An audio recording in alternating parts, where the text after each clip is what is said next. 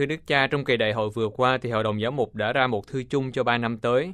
Với tư cách là thư ký của Hội đồng Giáo mục, xin Đức Cha chia sẻ đôi chút về chuyện nội bộ, tức là tiến trình hình thành thư chung này như thế nào ạ? Xin ờ, kính chào cha và quý thính giả. Cảm ơn cha đã nêu cái câu hỏi vừa rồi bởi vì nó bày tỏ mối quan tâm với sinh hoạt của Hội đồng Giám mục. Và như thế là chúng ta thấy có sự hiệp thông trong hội thánh của Chúa. Về câu hỏi của cha thì à, tôi xin thưa thế này là mỗi một năm Hội đồng Giáo mục Việt Nam có hai kỳ họp. Kỳ họp thứ nhất đó, quen gọi là hội nghị kỳ 1 thường là vào tháng 4 và hội nghị kỳ 2 là vào tháng 10. Thế thì trong hội nghị tháng 4 năm nay ở tại bãi dâu Vũng Tàu, Hội đồng giám mục đã quyết định chọn kế hoạch mục vụ cho 3 năm 2020 cho đến 2022 là về mục vụ giới trẻ. Và đồng thời Hội đồng giám mục đã trao cho một nhóm gồm 3 giám mục việc nghiên cứu và soạn thảo thư chung để trình Hội đồng giám mục vào dịp đại hội vừa rồi. Thế thì trước đại hội một tháng, nhóm giám mục này đã gửi cho ban thường vụ cái bản văn mà các ngài đã soạn. Dựa trên bản văn đó thì ban thường vụ trao đổi ý kiến với nhau, để chỉnh sửa sắp xếp lại những gì cần thiết và từ đó hình thành một cái bản văn mới mà theo ngôn ngữ quen thuộc của giáo hội chúng ta thì có thể gọi đó là tài liệu làm việc cho đại hội. Và trong đại hội vừa rồi thì tất cả các giám mục dựa trên cái tài liệu làm việc đó để góp ý thêm, chỉnh sửa thêm. Rồi ban thư ký đón nhận tất cả những góp ý, những đề nghị, những chỉnh sửa đó rồi làm thành cái văn bản cuối cùng là thư chung mà chúng ta có trong tay ngày hôm nay. Thì đó là cái cách làm việc rất là quen thuộc của Hội đồng Giám mục Việt Nam từ lâu rồi. Cái cách làm việc mang tính tập thể và có mục đích á, là làm sao để phản ánh được cái tầm nhìn chung của Hội đồng Giám mục chứ không phải của riêng ai. Thưa Đức Cha, đâu là những nét đáng quan tâm của thư chung này ạ?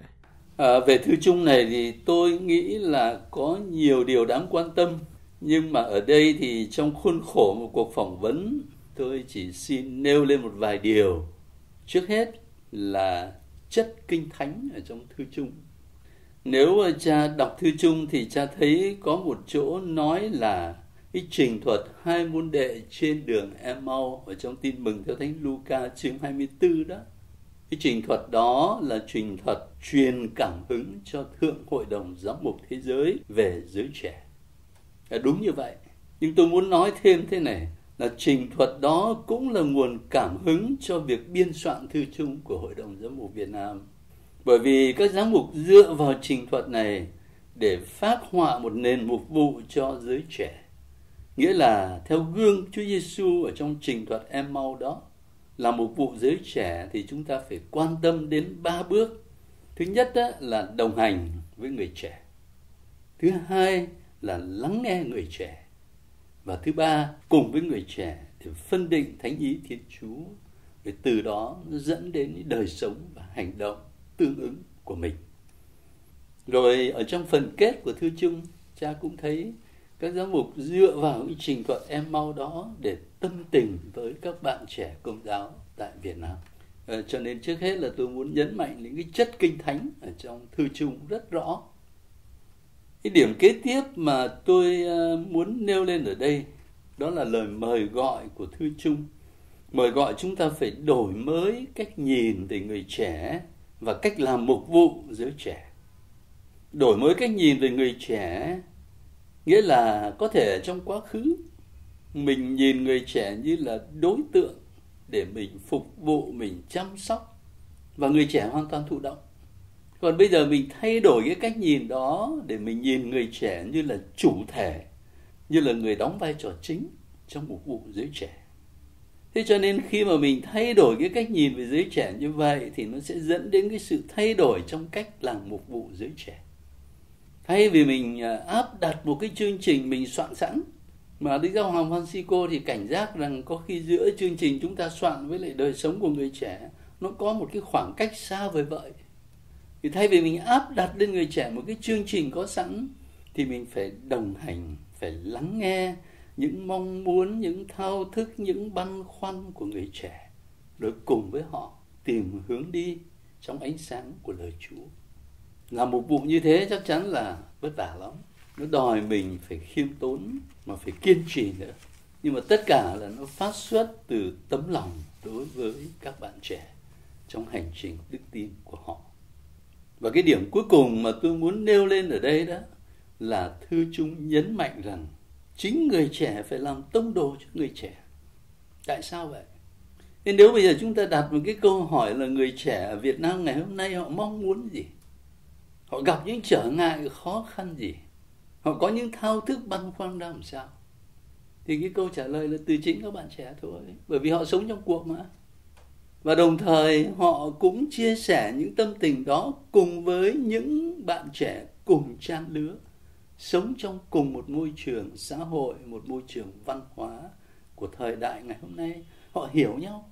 Thế cho nên, chính người trẻ phải là tông đồ cho người trẻ thành thử ra, người trẻ công giáo vừa giống hai môn đệ em mau ở chỗ là muốn đồng hành với Chúa Giêsu muốn có Chúa Giêsu đồng hành với mình, để dẫn dắt, để soi đường cho mình. Nhưng mà đồng thời, người trẻ công giáo cũng lại được mời gọi để theo gương Chúa Giêsu đồng hành với các bạn trẻ khác trong hành trình đức tin của họ và của mình nữa, đi tìm cái ý nghĩa và giá trị cuộc sống đấy là một số điểm mà tôi muốn nêu lên ờ, với cha cũng như là với quý thính giả nghe đài trong thư chung thì có một từ khá mới, đó là từ hiệp hành. Xin Đức cha giải thích thêm về từ ngữ này ạ. Ừ, cảm ơn cha nêu câu hỏi này là bởi vì ờ, ở trong hội đồng giám mục khi mà bàn thảo về chuyện này thì cũng đặt cái câu hỏi là không biết mình dùng cái từ hiệp hành thì người ta có hiểu không? Thế thì ở đây riêng tôi tôi nghĩ là mình phải chấp nhận những giới hạn ở trong tiếng Việt của mình khi dịch thuật những cái từ ngữ chuyên môn của phương Tây thì chúng ta lấy cái ví dụ cụ thể từ synod và synodality ở trong tiếng Anh hay là synod và synodality ở trong tiếng Pháp. Mình đọc lên cái là mình thấy nó có mối liên quan với nhau rồi. Synod. Thế bây giờ mình dịch sang tiếng Việt, synod là thượng hội đồng giám mục thế giới, rồi synodality là tính hiệp hành. Thì hai cái từ tiếng Việt này nó có liên hệ với nhau?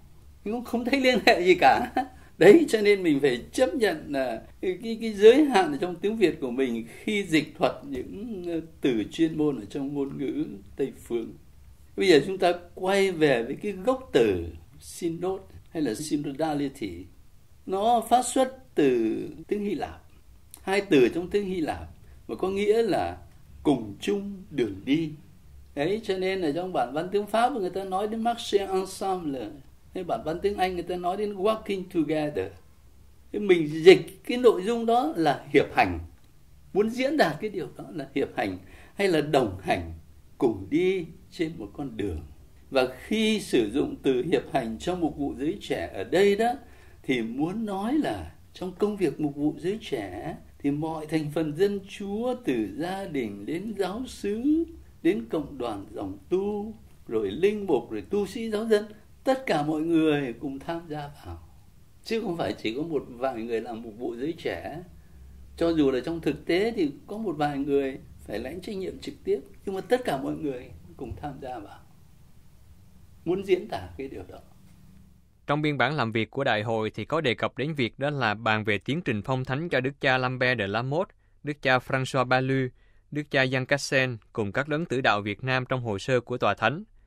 Xin Đức cha cho biết lý do của việc này ạ và tiến trình hiện tại ra sao ạ?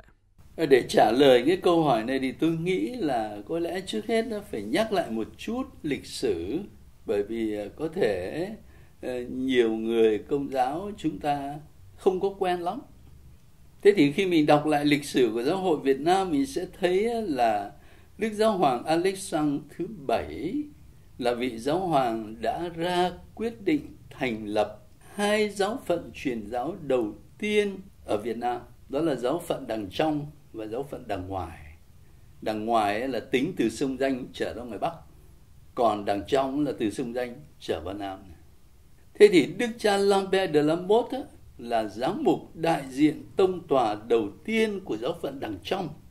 Còn đức cha François Palu là giám mục đại diện tông tòa đầu tiên của giáo phận đằng ngoài. Đó là hai vị đã. Bây giờ đến cái vị thứ ba, đó là đức cha Giang Cát Sè ngài là giám mục đại diện tông tòa giáo phận Sài Gòn, mà bây giờ là tổng giáo phận Sài Gòn. Ngài coi sóc giáo phận Sài Gòn từ năm 1941 đến năm 1955 thì ngài xin từ nhiệm Thế thì Đức cha Giang Casse khi Ngài từ nhiệm năm 1955 thì Ngài dành những năm cuối đời sống ở Di Linh với những anh chị em bệnh nhân phong và là một tấm gương rất đáng phục. Thế còn về các thánh tử đạo Việt Nam, chúng ta có 117 vị rồi. Nhưng mà trong hồ sơ đâu có chỉ 117 đâu, còn nhiều nữa. Thế thì bây giờ chúng ta mong muốn là nhiều vị tử đạo khác cũng sẽ được tuyên thánh. Thế thì khi mà bàn đến cái tiến trình xin phong thánh cho các đấng vừa rồi đó là hội đồng giám mục muốn trước hết là bày tỏ lòng biết ơn với các ngài.